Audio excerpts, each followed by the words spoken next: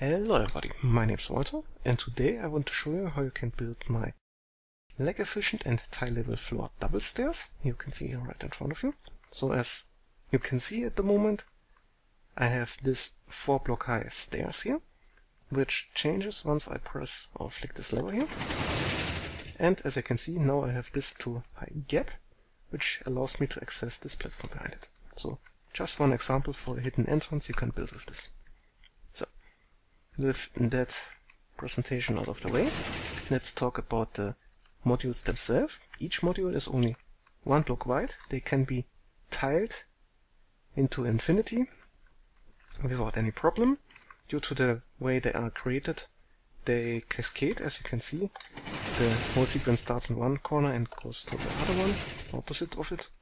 So it produces almost no lag. Also, due to the fact that it uses no bare redstone wire anywhere in the modules themselves. So very lag efficient.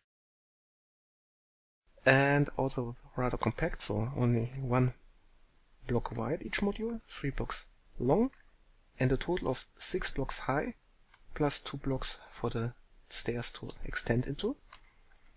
So not that much space needed for this to work and it's also rather cheap.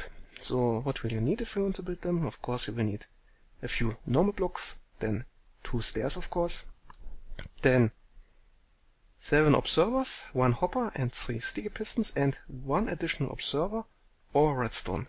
This is simply due to the fact that you can, if you don't have too many of those modules, uh, you can replace those observers at the bottom here with a line of redstone going along the way, maybe with some repeaters in between, uh, which would mean that all of those stairs retract at the same time, which could produce, depending on the number of them, quite a bit of lag actually, but uh, depending on uh, how you want to have this look, this might be what you want to go for. But Anyway, that's enough of the prologue, so let's get straight to building this thing here. Okay, so the first step is figuring out where you want the stairs to end up. In this case I want to move those two stairs here, which then will later on end at this gap at the floor. So you can actually switch in this case from going upwards here or going forwards into this little corridor there. So once you have figured this out, let's start with this block here. So at the floor level and one block behind the second stairs. Then from this block on, go four blocks down, so one, two, three, and four. And here you place your input observer. So this is essentially our input later on.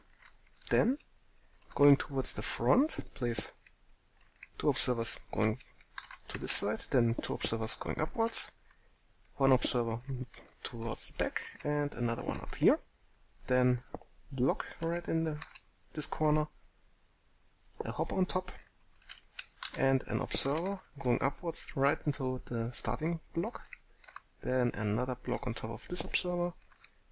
And finally a sticky piston here, there, and another one here. And that's the entire thing done. So let's see if everything works. So just give this observer down here an update. And as you can see, it works. If we give it another update, it, it uh, extends again. And the next step, of course, is then tiling it to the size you need. So in this case, I went with five modules, as you can see here. They are all exactly the same. And through those observers at this edge here, cascaded in a way that you actually don't get much lag in all at all. So as you can see, nice little sequence and fast too. Now one alternative to those observers at the uh, bottom here is actually a line of redstone. So let's quickly put a line of redstone down here.